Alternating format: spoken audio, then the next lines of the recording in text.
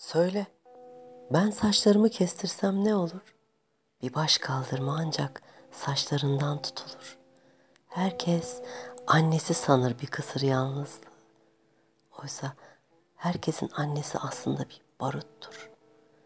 Eylül'den ürken Temmuz, şafaktan korkan gece, dağları bölümleyen o babadan kaçan sudur. Hatırla, her gün bir çalar saatle oynadığını, çalar saatler bir çocuğun uyanılacak uykusudur. Soğuk iklimler, kırımlar akar gider derisinden, çalıp söylediği, öğrenip oynadığı bir tabuttur. Anne saklanır, baba koşar, günleri münleri bölerler. Anne de, baba da parça parça bir geyik yavrusudur. Birinin sırtı ince, birinin elleri kalın. İkisi de bir gölün saygıdeğer komşusudur. Ey hayalin sonsuz çalıştığı gölleri bölmek dönemi. O zaman artık bir yerlerde hazin mevlütler okunur.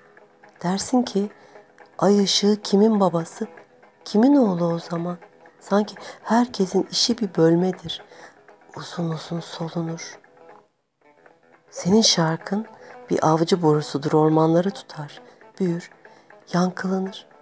Bir kale yıkıntısında saygıyla durur. Ey en bilge sesi gelip duran, sonra akan suların, bilirsin her akşam nasıl öksüz, nasıl güçlüklü olur. Her akşam nereden baksan yine de bir eksiği doldurur. Babalar geri çekilir.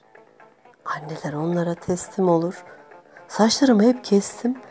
Tutacak kadar kalmasın dedim. Çünkü bir baş kaldırma ancak saçlarından tutulur.